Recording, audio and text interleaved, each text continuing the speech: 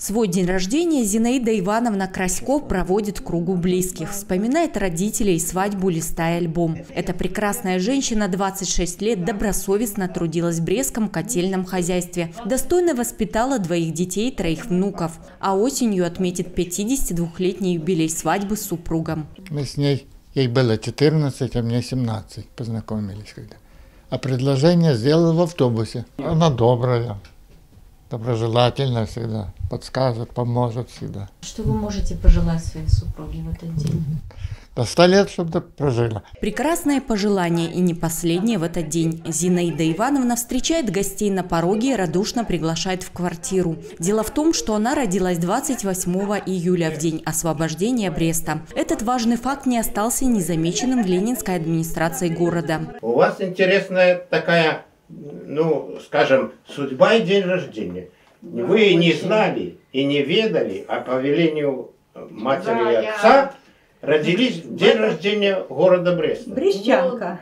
Да, в день освобождения Да, города города Бреста. Бреста. Да. Поэтому, Освобождения, да. ну, мы искренне поздравляем вас с этим праздником. Сегодня день освобождения нашего города от немецко-фашистских захватчиков, день города, праздник нашего города.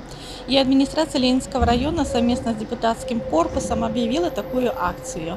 Мы родились в один день, в один день с города.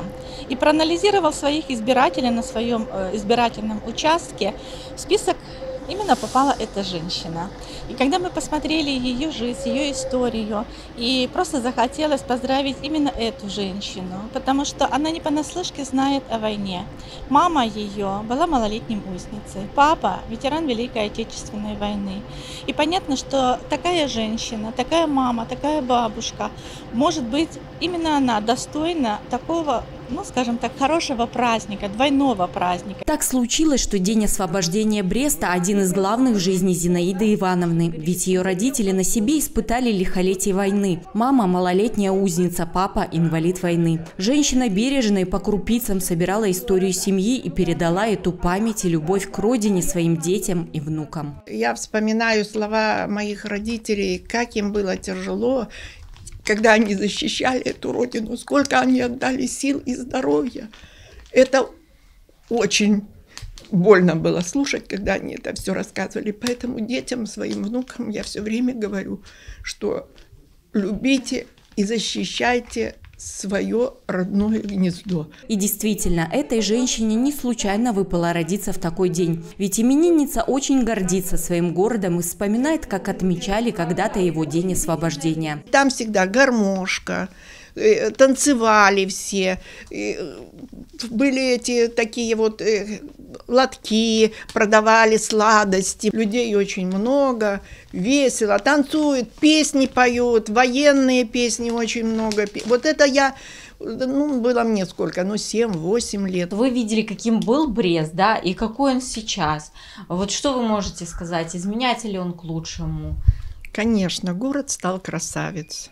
Просто, ну, я не знаю, вот друзья приезжают, я всегда показываю. Сейчас вот были с Мурманска у нас друзья. Мы ходили тоже вот на Советскую, показывала эти все памятники, это все рассказывала, читали. на- И они были давно и сейчас. Тут, говорит, конечно, город меняется тоже. Красавец. Просто, говорит, сказка, а не город. С этим высказыванием согласится каждый брещанин, но акция «Мы родились в один день» на этом не заканчивается. Людмила Лагудич, Андрей Щерба, Юрий Лемонтович, телекомпания Бук ТВ.